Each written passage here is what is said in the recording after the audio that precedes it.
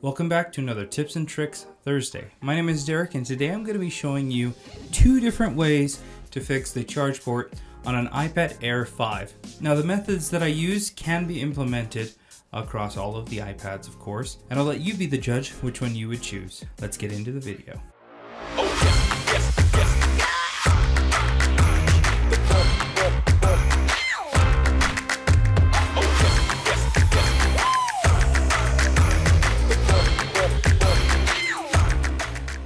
So to get started, this iPad Air 5 got some liquid damage in the charge port, which caused it to stop charging. I've already taken it apart and I've got it under the microscope so that I can assess the charge port and see if I can recover it without having to replace it. But even if I can recover it without replacing it, I'm going to show you the other method, which is replacing the entire charge port assembly. That's not only the charge port itself, but the flex cable that comes on so that you can assess for yourself which one you would do. So let's head on over to the microscope and get started. Alright, and so a little bit more cleaning, I'll be able to see if all those are pads or if all those pins are still good. Let's look at the back side. It's looking pretty nasty as well, but now that is looking a ton better. So my main concern at this point is did the water damage get under and on the pins inside of there? So let's do a quick check on that. I'm going to take a little bit of Kapton tape. I'll tape that off just so it doesn't melt a little bit. Even if it melts a little, it's okay. Now I'm going to take my hot air gun.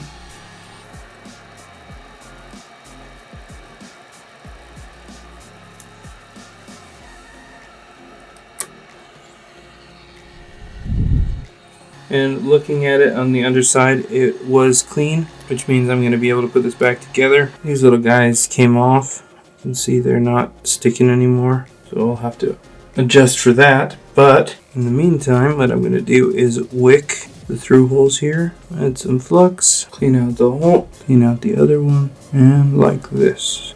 We'll just line everything up, get those legs through, give it a bit of a squeeze, and we'll solder it on. And We'll heat it up one more time. And the last step is going to be to make sure that those legs get soldered properly. So we'll take uh, a little bit of solder here, push it on through those holes.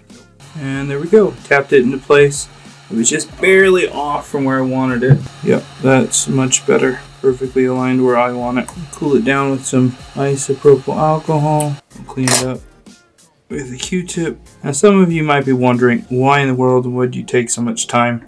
Well really the amount of time it took me to do this was less most likely than if I were to replace the whole flex cable because of having to remove this board from the, the frame with all of the components you have to disconnect and reconnect. And uh, in this case, it just made more sense to do it this way all I was doing was fixing the issue, which was the corrosion, and then double checking to make sure that it was all good. So I didn't necessarily need to remove the port in this case from the flex, but I did just to be sure. I didn't want to go plug it in with it potentially being shorted out still. So the last thing that I'm going to do is put on some new glue to cover up these components. Doesn't have to be pretty, just has to get the job done. Alright, we'll reinstall the port in the frame. We'll screw it on down. We'll reinsert this flex into the ZIF connector. We'll smooth out the flex. Put the sticker back, put this one back as well. We'll take out our plastic piece here. That's protecting the battery from making contact. As soon as we've got the display and digitizer reconnected. Alright, so that is how to do the port. Now let me just show you guys real quick. Got it out of the frame. For those of you that want to do it, what might be the easier way if you've taken the time to take it, the board out, what we'll do is we're going to peel up this sticker here, and we'll peel this guy off. And I just set it here off to the side so I can reuse it later. I'm going to take some 138 solder paste. This low melt solder paste will allow us to bring the overall temperature that the solder needs to get to on the board down so that the solder will let go and we can get the flex off without pulling any pads. We'll turn on our soldering iron and now we're just going to go and flood all of these solder pads with some solder. I'm going to add some flux, take some wick and we're really going to try to suck up as much of the solder as we can. Now we'll take the pair of tweezers and I'm going to carefully go on the edge here, lift up the flex, giving it a little of tension and this will allow the solder to start to let go of the flex as we move along it. Get back into focus. Just want to find a starting point. I'm just going to add some low melt solder again and we'll leave a little bit more on it this time. And with this low melt on there, it should come off relatively quickly.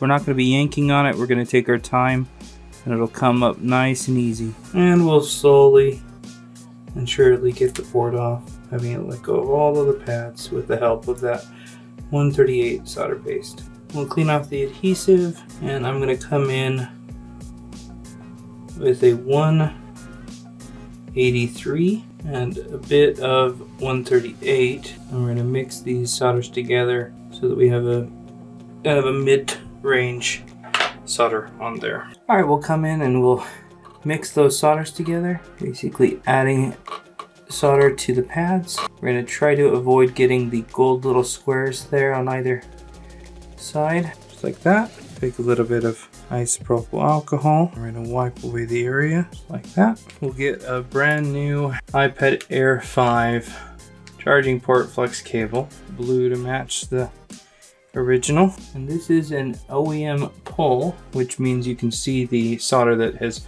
already basically been pre-tinned. What I'm going to do is we'll add a little bit of flux to the other side here and we'll smear that around. And I like to put some on the windows, these little square windows here on the edge, like so. And then I'm also going to put some flux on the top side as well. We'll spread that out like that. We'll line this up, getting those windows to line up perfectly with the gold squares. And I'm content with that one, so I'm going to try to tack this first pin here. And that's not moving, so we'll go over and look at the other one. And it's right on as well where I want it. Actually, it's a little off. I'll take the tweezers, push it to where I want it. And we can push down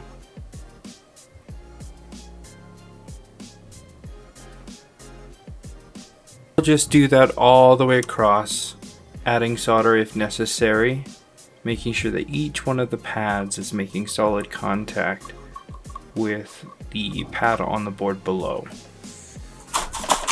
Alright, and the final step is going to be to add some isopropyl alcohol.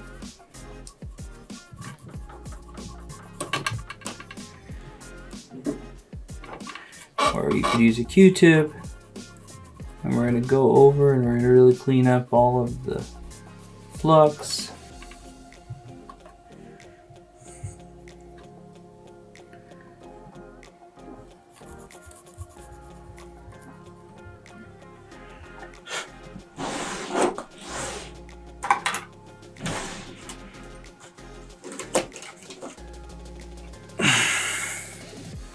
You may need your find, to find yourself bringing out a brush if some of the burnt flux isn't getting cleaned up.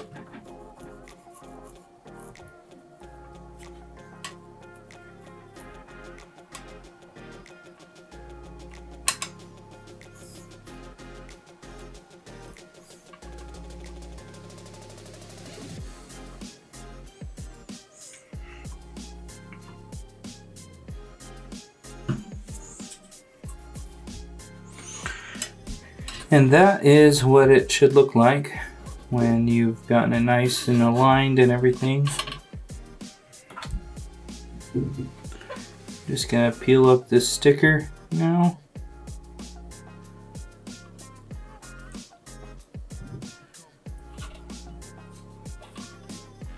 If you mess the sticker up, you can always use Kapton tape.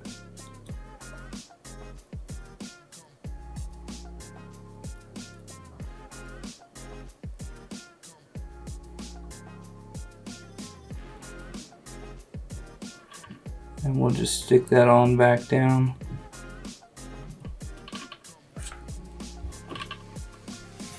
Like so. Alright, and the final step is going to be to add some isopropyl alcohol, or you can use a Q-tip, and we're going to go over and we're going to really clean up all of the flux. You may need your find, to find yourself bringing out a brush if some of the burnt flux isn't getting cleaned up. And that is what it should look like when you've gotten it nice and aligned and everything. Just gonna peel up this sticker now. If you mess the sticker up, you can always use Kapton tape. And we'll just stick that on back down like so. And that is how we get a new charge port on and two different ways depending and that's how we do a charge port in two different ways depending on how much work you want to do. Alright, you can see we've got the new charge port in there and you can see we are in fact charging and fully charged now. So that's the two ways that you can go about replacing the charge port on an iPad Air 5. And there you go. As you can see, we got it up and charging again. Obviously, I didn't have to go through the process of doing it the second way, but I wanted to show you how to do it. Now, of course, if you've done this before, you may have a different technique. Leave it in the comments below. This is a place for learning, so hopefully we can continue to do that together. Thanks a ton for watching, and we'll see you tomorrow for another video.